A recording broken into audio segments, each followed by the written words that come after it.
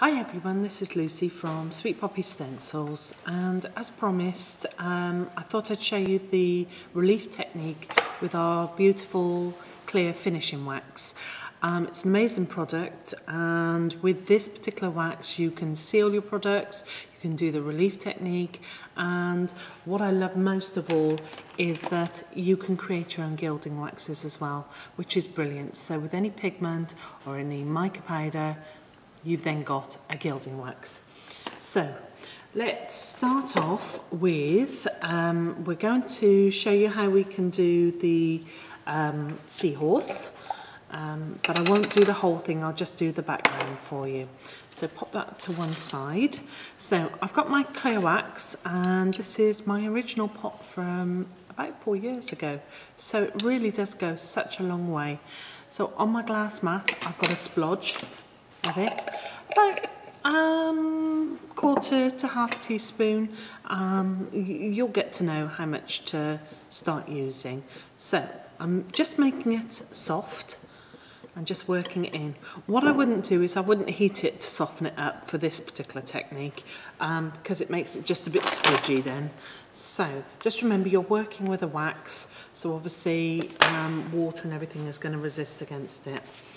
So bit of card and magnetic sheet. And all we're going to do is pop that on and you all know how much I rate using a magnetic sheet with metal stencils. Um, it is amazing. We just grab some tape.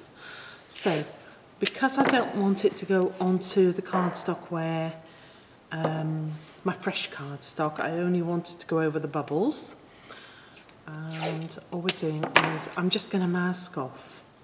There we go lovely. And you don't have to do it any you know fancy masking or anything because we're going to move it all the way around.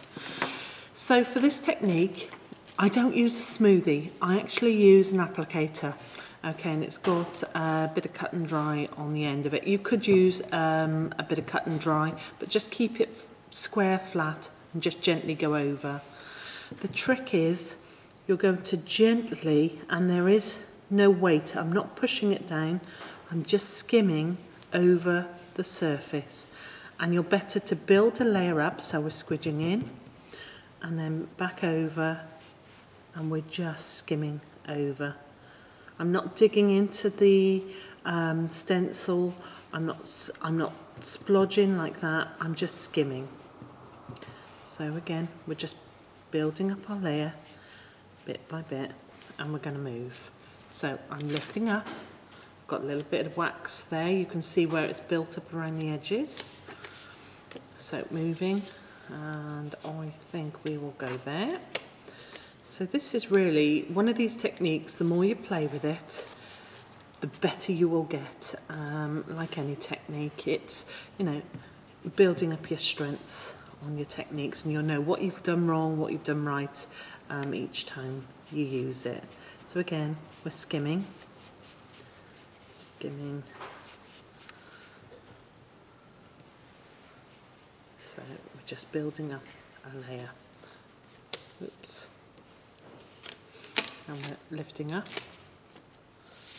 And we're going across. Now, you've got to remember, wherever you put wax, ink is going to resist. So if you're then trying to stamp onto it, you've just got to be aware where you're putting your wax because it does struggle to take ink on top of it. Um, for example, you know, with the seahorse, just remember you'll have to keep building and building and building your layers of your black ink because it will resist. So again, we're taking a little bit. Maybe it was a little bit too much that I actually put down initially, but you could scrape that and put that back in the pot.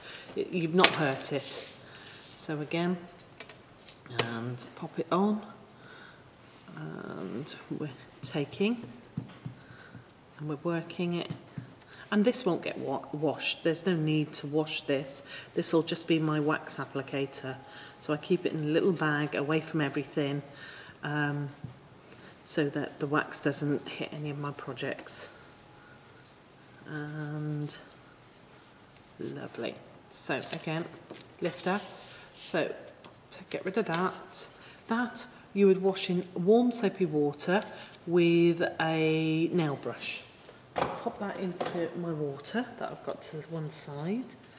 And I'm going to just pop my little applicator back in to its bag. And as I said, that can go back into the pot. There is no wasting on it. Lovely. So it smells beautiful. It's um, eucalyptus and a citron, citrus uh, smell to it. So it has a beautiful, beautiful smell. Um, and it's, it's just a brilliant, brilliant product. So let's, what we're going to do is, I like going over with sprays. I do, I have to um, just master the technique of going over with a um, ink pad um, because obviously you'll be disturbing the wax. So it's one of these that, again, as I said, the more you do, the better you're going to get. So again, unfortunately, the sprays can be a little bit mucky, but I do love oxide. Oh, that's my poorly one, so let's just clean off the rim. It needs a, a little bit of TLC. So I need to take that off and just spritz it in, uh, get water through it to clear it.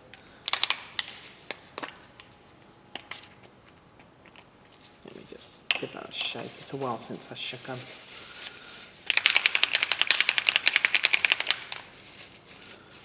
And this is, yeah, peacock feather, one of my favourites. Right, so I'm going to get a bit of kitchen towel because I like doing it this way. You could, you know, gentle waft of a heat gun over it if you wanted, but I tend not to do a heat gun not until the end of it. So you can see where the wax is just resisting. Let me take up all this. That's, I'm going to go over the top of it again. Isn't that amazing? I just love it. So again, we're going, I'm going to go in with a heat gun. So excuse the noise. And what this is going to do is it's going to um, melt all the wax that was like residued on top.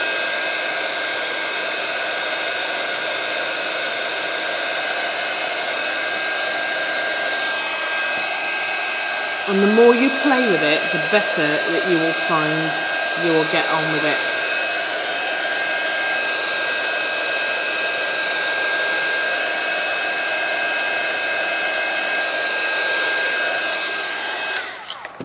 What I'm going to do is, I don't know, let's give it a quick, do sometimes like, let's get another quick piece.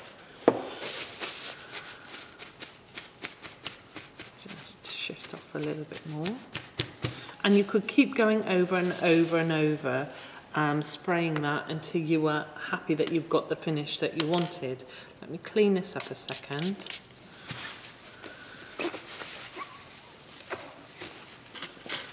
So, get that nice and dry. So what you can also do is, have I got a sponge?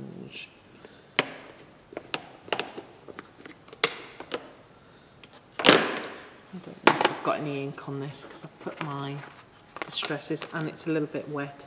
So what you could do is you could go over with your inks, just building up your layers until you are happy.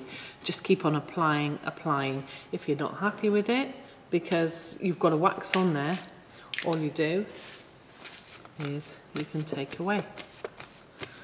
Now what it's also good for is let me pop that to one side a second. It is good for sealing off your projects. So these have um, a wax on top of them where I've applied a little bit of the wax um, and buffed it over. So if I get any water on them, they're not going to, because these were oxide sprays, they're not going to then lift off. So all you're going to do is if you want to, say if you've done your beautiful project, so all I've done is once I've got my background, I put my stencil on.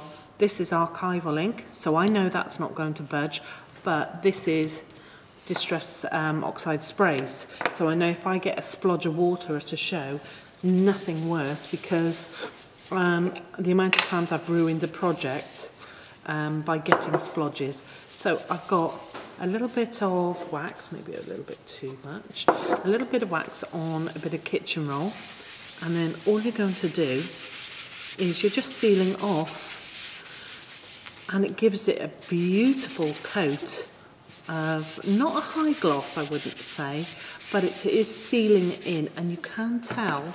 So all you do is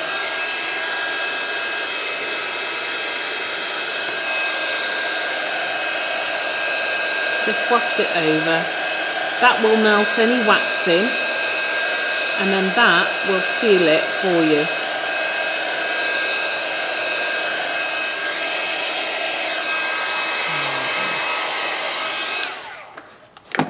And there you go.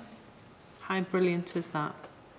And all it's doing is it's sealing it in. So remember, for your really relief technique, apply your stencil in a circular motion, a gentle circular motion, go over the top with your wax, stencil off warm soapy water to wash it and then you can spritz it over. Um, I do find once I've done the first layer then dry it and then I can start applying my um, ink pads over the top of it and to seal off your project just a bit of kitchen roll, bit of wax on and then you can buff it up and then just quick waft over with a heat gun. I hope you enjoyed that. And for part two demonstration, what we're going to do is we're going to show you how to make your waxes and your mica sprays. Thanks for joining me.